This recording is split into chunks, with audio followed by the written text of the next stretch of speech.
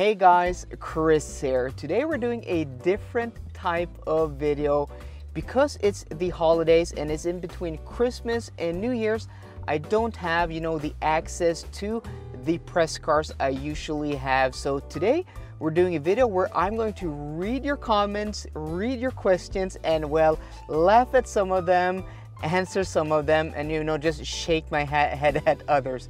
So without further ado, let's go ahead and read some comments. So the first comment is from, uh, yeah, I'm not gonna even pronounce that username, but he says, silly to make a car that has range than less than 321 kilometers or 200 miles. That is to my uh, E2008 Norwegian high-speed run test. Um, yeah, um, I don't know what you're on about.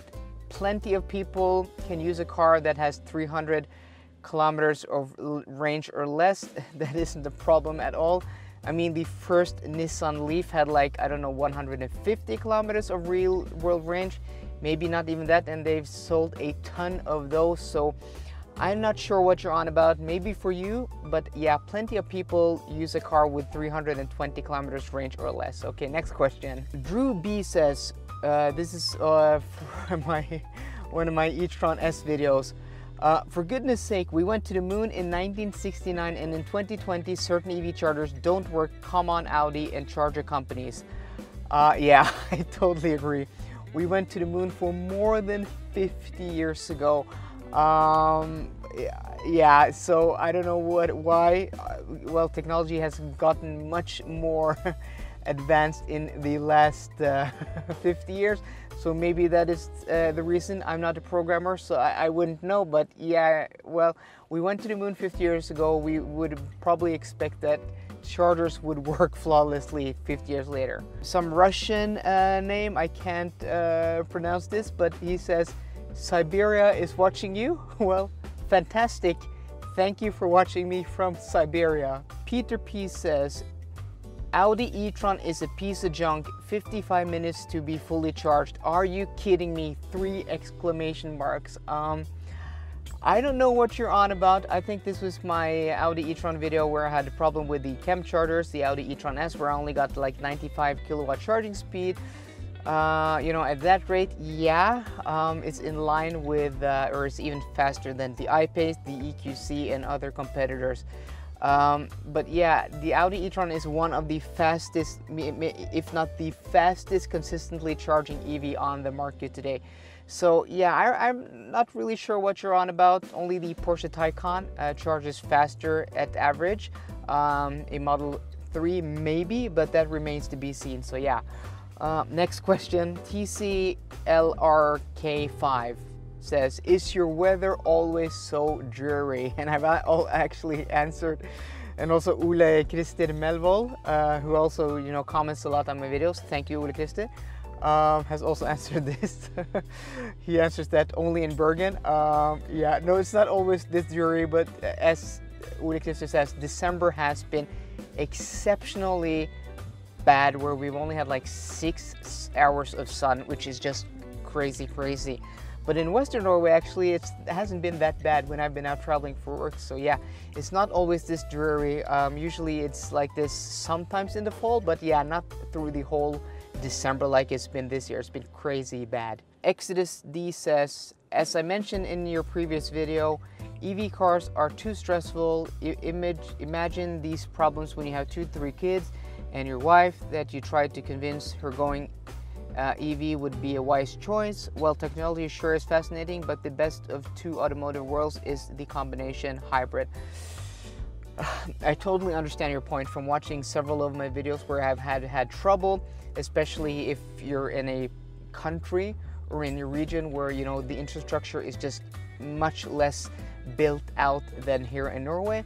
I can totally understand your point and EV, EV you know, technology the chargers, the reliability of chargers and cars just has to has to improve massively before you know the mass market can move into EV. So I totally understand your point, though I'm happy to be your uh, you know eh, to to experiment for you guys and you know uh, yeah uh, okay Stefan R says I worked for three automotive companies as software engineer, partly in EV projects. When buying an EV, Tesla was a no-brainer.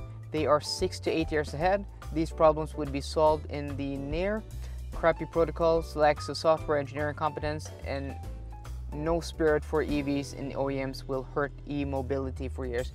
Yeah, so that touches upon the last uh, comment, I think, and he's onto something there. Um, Björn also uh, talked about this in one of his Xpeng videos, where you know Xpeng or Xiaopeng uh, are one of the manufacturers who want feedback and work with feedback. Tesla was like this a while back, but seems like they're not listening to consumers anymore.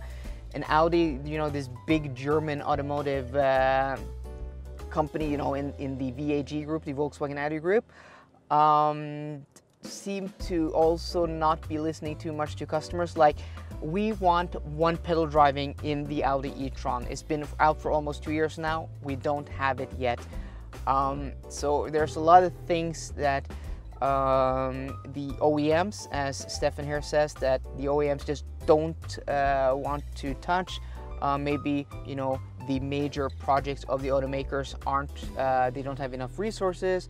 There may be many, many reasons, but I think he's onto something there that, you know, EVs have to be, you know, uh, the bread and butter of a company or, you know, the halo products of a company for them to really, you know, put the resources that is needed. So, yeah, it's kind of a, you know, half-ass project for many automakers, but uh, we're, we're getting there, we're getting there. Onur Basar says, Hi Kris, while calculating the range, do you think the car is also considering preheat uh, when you put the charger into destination, according to cons uh, accordingly consider some energy loss? And then Ole Christer Melvold again um, has a brilliant comment here. I've monitored the battery temperature with the OBD device on my e-tron 55 and it doesn't seem to warm up the battery neither on route or when preheating at home. Luckily you still get decent speed even when the battery is cold and speed picks up quite fast all the way up to 150 kilowatts um, shown by me also many times and I think he's onto something there because I've talked about preheating, Björn has talked about preheating and it seems there isn't any reliable source to say that the e-tron preheats. Uh, the only, you know, thing or, or, when this preheats, it seems to be when it's minus 10 degrees Celsius outside, but yeah, uh, the, it heats up the battery pretty quickly when getting to a charger and, you know, get co connecting to a charger. Uh, you seem to be getting like uh, at least like 120 when the battery is cold, but we can check now because I'm actually charging here at the 150 kilowatt BKK charger. Uh, and it was cold here and we are charging at 8 100 kilowatts at 80% state to charge. So yeah, uh, preheats the battery or heats up the battery quite quickly. Erling Ervik says, hender det at du angrer litt på at du ikke valgte en Tesla? So he says, do you regret not choosing a Tesla? And yeah, this is probably the title, the thumbnail of this video. And a lot of people have commented on this and I want to go back to back in 2012 or 2013 when the Model S uh, came out. I was actually working in the car industry. I haven't talked about um, I haven't talked about this too much, but I worked in the car parts uh, and we also had a, a, workshop where we serviced cars. We had a store, you, you can think about the Fast and the Furious, uh, just for upmarket cars. We had a store that, you know, we tuned cars, uh, we also had, you know, workshop. We did services, we did, you know, maintenance, we did engine rebuilds, we did wheels and tires, uh, you know, mostly for, you know, the German cars. And the Model S was a very popular car um, when it came out in 2013, 2012 in Norway. It was the most sold car for like ages, the Model S. So we sold a lot of wheels and tire packages for that car. Actually, my sales record all time was uh, that before I quit that job. Uh, that's a whole different point.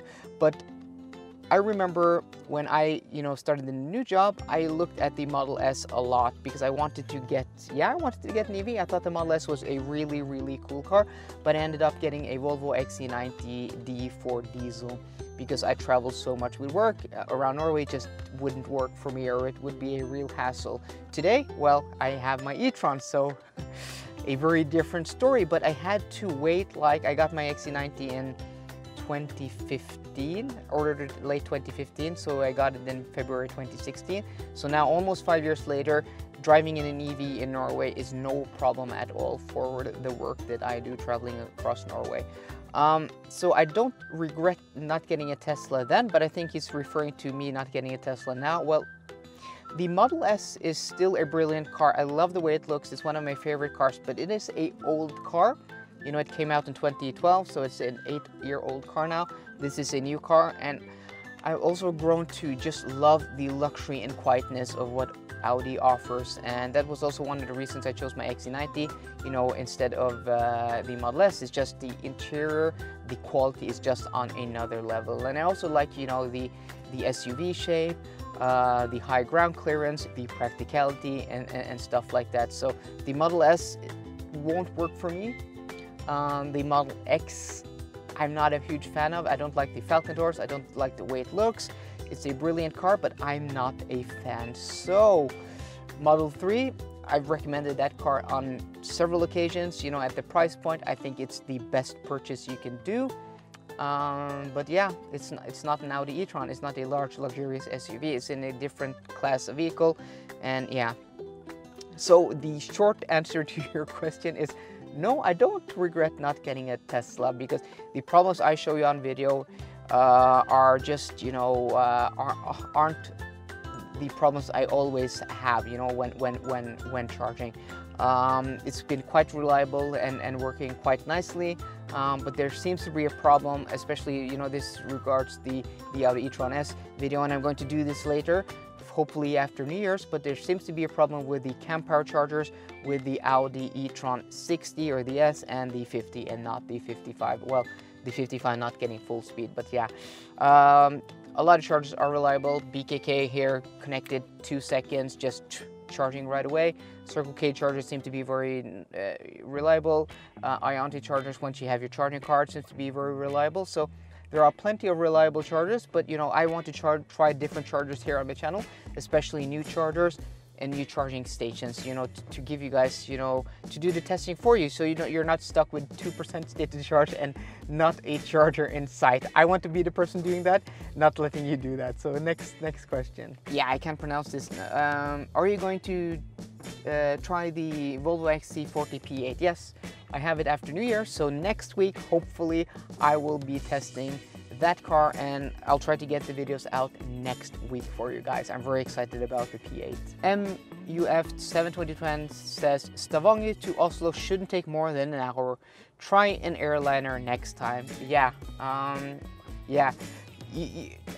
A very funny story. Um, um, I think uh, there was, you know, some, some kind of envir environmental movement uh, in the United States who wanted to stop motor racing and then they they wanted to stop, you know, the Daytona 24 hours race. And somebody did the calculations of, you know, all the racing, all the fuel, all the cars, transporting all the, the cars to, you know, the racetrack and the teams and so forth. And so, so, you know, the whole, the whole event except all the spectators, of course, because, you know, spectators you'll have in any type of race, but the, the actual event, right? And they calculated how much fuel, how much, uh, you know, how much, how much pollution did this actually uh, uh, produce? And uh, they were quite shocked by the results that one flight from New York to London, one cross-Atlantic flight produced more emissions than the whole event. So yeah, that is my answer to your question. I'm driving in an EV in Norway where 99% of the energy is hydroelectric. So yeah, this really is a zero emissions vehicle in Norway after the vehicle has been produced. So yeah, I'm not gonna fly if I don't have to fly. And also it's COVID guys, you don't fly unless you have to fly. So yeah, that's my answer to that question. Okay, last question. FM Carve. I think he's an old-time viewer who has, you know, watched my uh, Volvo videos also. So thank you, FM Carve. Correct me if I'm wrong, but I think you're an old-time uh, viewer of the channel. This is the reason I will not be getting an EV anytime soon, and this is also my Audi e-tron S video where I've, you know, gotten most of these comments from because a lot of you guys commented there. Until charging infrastructure is sorted out of uh, sorted out this kind of trip with three kids at the back would simply be a nightmare. Um, I totally agree with you. Uh, if you have three kids in the back who are hungry, who are tired, who are thirsty, uh, you might run into a huge problem when the chargers aren't working. So I, I totally understand most of you guys out there. Um, so yeah, but hopefully me making these videos, Björn making his types of videos and other channels on YouTube, you know, highlighting the issues that are with charging and this isn't you know on the daily you know i have trouble maybe one out of 10 times of charging maybe one out of 20 times and i know that is a lot for a lot of you guys but yeah uh, i totally understand so guys i hope you enjoyed this video i've been wanting to make a video where i read out and answer your comments for a long time and now that me not having a press car uh, yeah, worked out perfectly fine. So I really hope you enjoyed today's video. And if you did, please drop me a thumbs up down below. And for more car content, as always guys, please subscribe. See you guys later and goodbye.